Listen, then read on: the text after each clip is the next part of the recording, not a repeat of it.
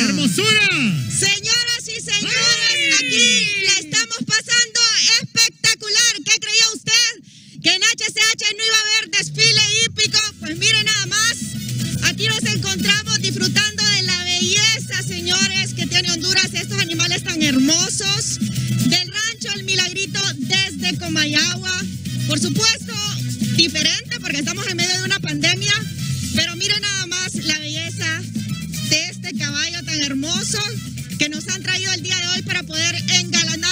transmisión. Ervin Aguilera de Rancho El Milagrito desde Comayagua. Ervin, extrañando los desfiles hípicos en todo Honduras. Muy buenas tardes, muchas gracias por la invitación. ¿Ha extrañado todos esos desfiles que han hecho por todas las ciudades de Honduras? Claro, por supuesto, los fines de semana salíamos bastante a, a Honduras y salíamos bastante a la ciudad. Este tiempo. Más eh, cuidándonos. Espéreme, espéreme, espéreme. Es que él quiere. Miren, ya Dios no sale él.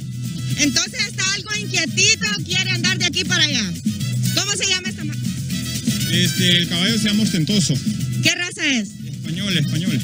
Mire nada más, yo estoy encantadísima aquí montando este bello caballo de raza español.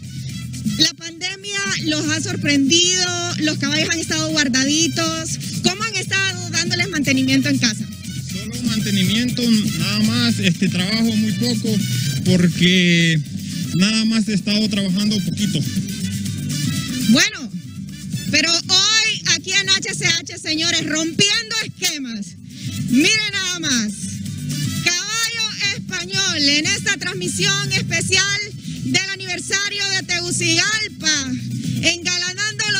hondureños. Desfile hípico, señores, aquí en HCH. Ervin, ¿cuál es el primer paso para aprender a montar estos caballos? Eh, el primer paso para la persona que va a montar el caballo es saber montar, eh, aplomarse bien, eh, después los ejercicios que es paso, trote y galope para aprender a, a montar caballo. Bueno, y algo bien importante es que hay que agarrar bien las riendas. Exacto, eh, no jalarla mucho, tener mucho contacto con el caballo, porque si no es como, como el timón del carro, pues, o, o decir acelerar mucho y detener, frenar, eso. ¿Cuánto tiempo más o menos me tomaría aprender, por ejemplo, a sacarle paso? Porque estos caballos bailan y todo. Exacto, este, eh, uno o dos meses eh, trabajando diario, dos meses para aprender, pa, aprender a montar, nada más de, de aprender a montar, nada, nada de aprender a entrenar.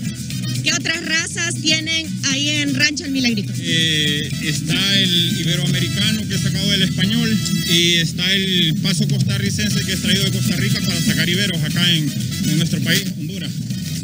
Bueno, señoras y señores, usted no se despegue de esta transmisión especial. Carolina, la potranca HCH, ¿crees que te vas a salvar? Te reto a que te vengas a montar aquí a un caballo. ¿Me estás escuchando, Caro? Me estás dejando como. Aquí te está retando esta la- chela lanchana. como pensativa, Chela. Aquí te está retando esta lanchana. Yo soy la potranca aquí, pero todavía no he aprendido a andar en caballo.